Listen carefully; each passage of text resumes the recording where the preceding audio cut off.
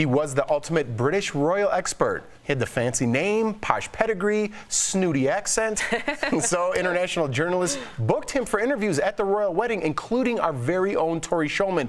But a new, uh, a new Wall Street Journal investigation says he's not all he's cracked up to be. You might remember I went to London to cover the royal wedding. While I was there, I interviewed Thomas J. Mace Archer Mills Esquire, who was the founder of the British Monarchist Society and touted as an expert on the royals. You do not upstage the future queen of this country, especially when you're coming in the way you are. And when you start to take the spotlight mm. from someone like Catherine, and then you swoop into the United Kingdom, here I am, the American. American and you're wanting to really upstage the Duchess of Cambridge and the future Queen, I won't have it. The Wall Street Journal broke the news that he is not Thomas J. Mace Archer Mills, Esquire. He is, in fact, Tommy Muscatello, a 38 year old American from upstate New York. Since I became friendly with him in London, I asked for an interview to clear some of these things up. The rest is what follows. Why did you create this persona? Talk to me about that. Well, it, it's not something that was created. It naturally evolved, and uh, it's it's something that I worked long and hard on trying to explain with some of the media outlets that have reported. But unfortunately, the media's wanted to report what they felt would make a story and omitted the things that were really relevant to the person I am, the person I've become, and what has made me me. What is your legal name? my legal name is Thomas Mace Archer Mills. That's your legal name on your passport. You have a British British pas- passport. That is my legal name as it is on paper. My solicitors, everybody knows that. But is that uh, your that's, is that your legal is. is that, that your legal name? name? Tori, that is my name. So you're speaking with a British accent right off the bat. Is that real? I've got to be honest. Is that fake? Because you're from New York, am I right? I stopped living in New York when I was in my teens. Okay. And uh, the way I speak is the way I speak. It's it's natural to me.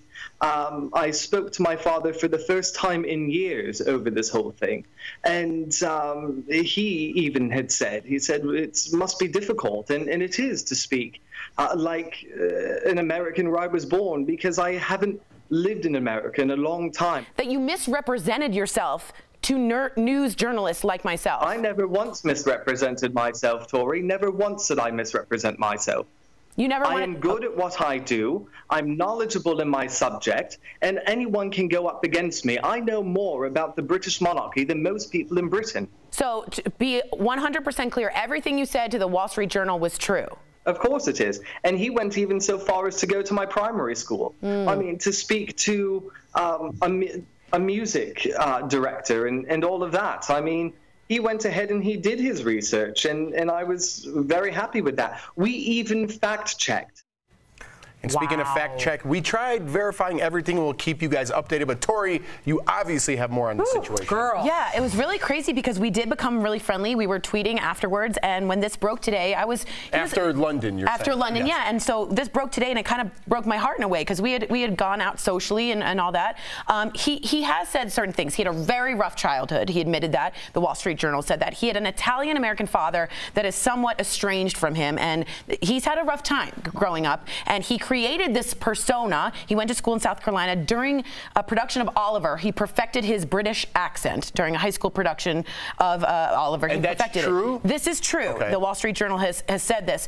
Uh, I'm not trying to say he's a liar. I'm presenting the facts to the DBL Nation, and I want you to make up your own mind. To me, it was a misrepresentation of the British people, of how they viewed Meghan Markle. Um, but I want you to make up your own mind. He was a very nice man, but uh, to me, it was a misrepresentation. I agree it was a misrepresentation, and it seems like it's a bit of self-loathing as well. He was very adamant about the way that he was speaking about Meghan Markle as being American as if she was less than. Right. I think he was really talking about himself. Yeah, he wow. doubled down on that, and it's a great point. He really put down Meghan Markle a lot for being American, just like you said, and he himself is from New York. So he is, his side, so to speak, is saying, I never said I was British. I just kind of let everybody guess that I was British. Right. He didn't lie. He misrepresent. He misrepresented it. He's a bit like Rachel Dolezal, which he mm-hmm. fully believes that he is Thomas J. Mace Archer Mills, Esquire. That is who he is. He has two adoptive British grandparents who he spoke about when I met with him, Granny.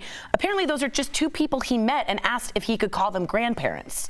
You know, I can I just mention the fact that he asked you out, or uh, not asked you out, but invited you and the crew from Daily Blast Live to a private, high-ranking club where he proceeded to order things that were in higher echelons in terms of how much they cost, and then stuck you with the bill.